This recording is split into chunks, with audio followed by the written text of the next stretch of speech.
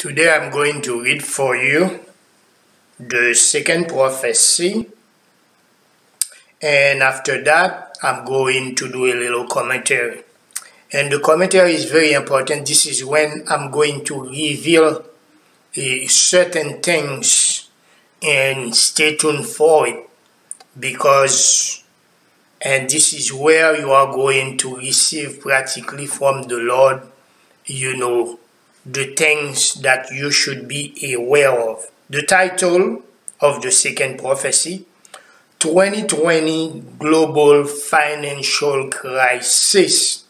And this is a prophecy that I did give you a hint of it already. Your new moon festivals and your appointed feasts, my soul hates. They have become a burden to me. I am weary of bearing them. When you spread out your hands in prayer, I will hide my eyes from you.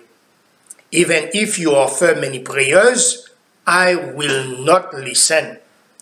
Your hands are full of blood. Wash and make yourselves clean.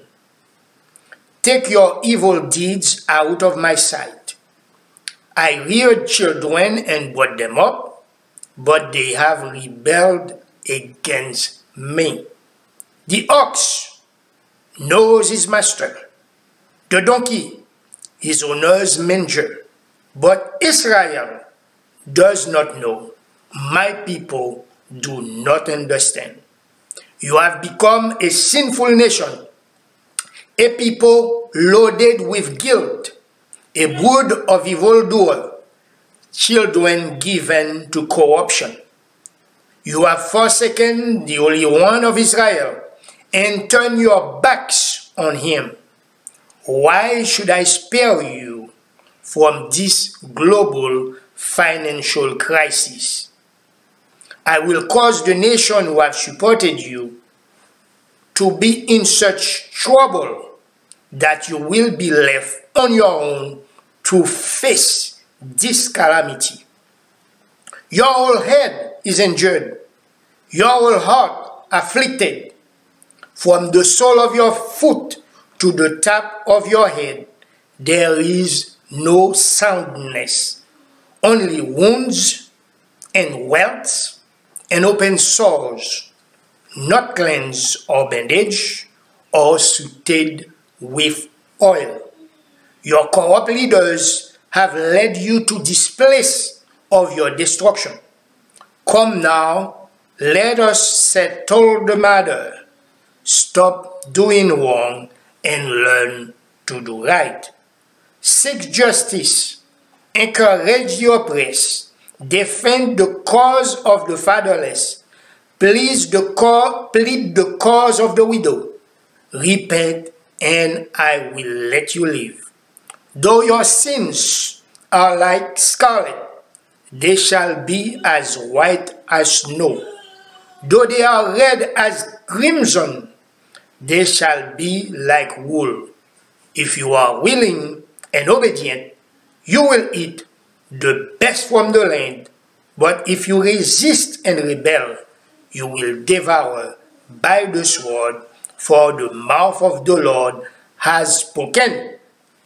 So, the key word in this prophecy, the Lord is saying on to us, why should I spare you from this global financial crisis?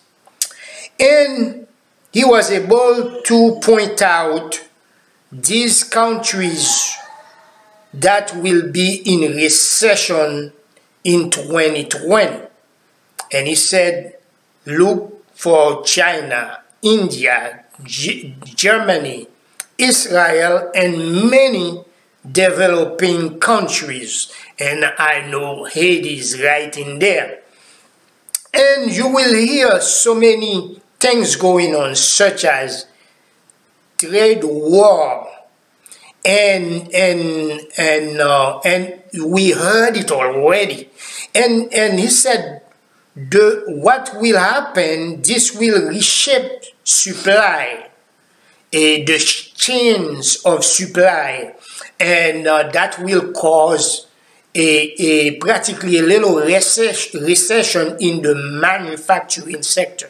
So you imagine you are a manufacturer and you have stuff if uh, you have you have your warehouse filled of stuff and but you cannot sell them. You know because of the trade war it will cost you more money. Practically you you practically losing money all the time. And uh, you know to send your your products to another country you have it costs you a little more. So that shrink your bottom line and some a, a manufacturer they will have to file for bankruptcy. And you will hear a lot of bankruptcies. And uh, they said you know you will hear also a slow growth. And uh, as you know jesus explained it a slow growth rate that means you know in, instead of seeing especially in america that you know that the country is practically progressing although a lot of people right now they have jobs but you know they have to do they have to do a couple of jobs really to pay their bills and uh, really you know, we are not growing financially. And uh, you will see also a slow in business investment. Because, you know, when a businessman or a businesswoman, you know, they open a business and really they cannot sell, they cannot make a profit, that will cause them not to invest that much in their business. And that will cause a slow productivity. And uh, and he said that will cause a volatility, a uncertainty in the market itself. And, uh, and already we know there is a new alliance because of the trade war that we started uh, with uh, China and all that. So we see alliance being formed from the Asian countries with Europe, you know, and said, you know what, the best way to sell our stuff. Let's align with Europe now. So that will cause a serious deficit for America also. And like I said last year, you know, I give you an idea of how, you know, the farmers will be in fact impacted, uh, you know, and we will see also a slowdown in the housing sales that's mean, you know, people, you know, it's already hard for them to even qualify to buy anything in America. And, uh, you know, and with the manufacturing has many problem uh, getting the cheap stuff from either China or other countries. So it's going to be very, they will have, you will see the, the market grow a little bit, but nobody has enough money you know, to buy them. You know, you see a, a 200,000 house is like 300,000. And when you cannot even qualify for the 200, so they will have a little problem there. So, you you will see, like I said to you, recession in Germany and, and a little bit problem with UK.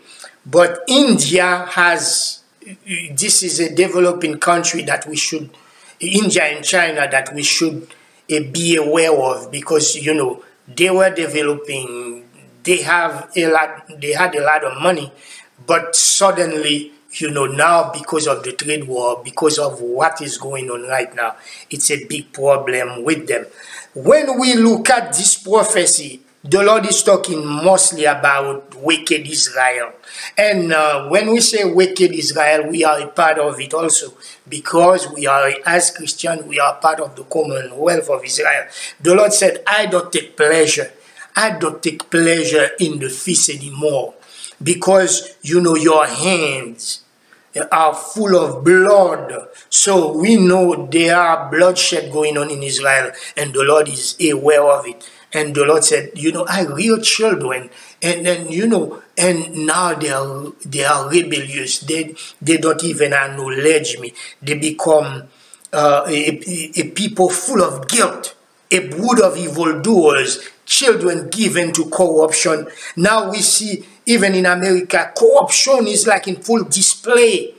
Good is uh, considered a, a bad, it's considered good.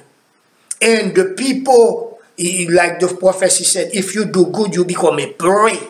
And, uh, and this is pretty bad. And the Lord, the Lord is saying at the end of the prophecy that that will lead to, and I don't want to give a title, the title of it, that will lead to us not being qualified to live even in in the land where we are living that God can practically erase us from the face of the earth because we do not seek justice anymore. We don't we we, we oppression is everywhere.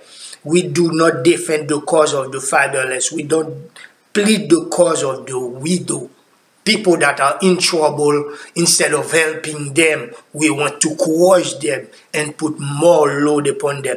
God is not he, he, practically proud of that. And, and the Lord said, the only way, you know, He will not allow us, because, you know, money solves all things. All things can be solved by money. And when you have a financial crisis, that means there are certain things that you will not be able to afford, certain problem that you will face, yeah, that you will not be able to resolve them. But God, the Lord is saying unto us, if we are willing to obey Him, and if we are actually obedient, He will allow us to be blessed in the midst of this financial crisis. I say these things in Jesus' name. Amen.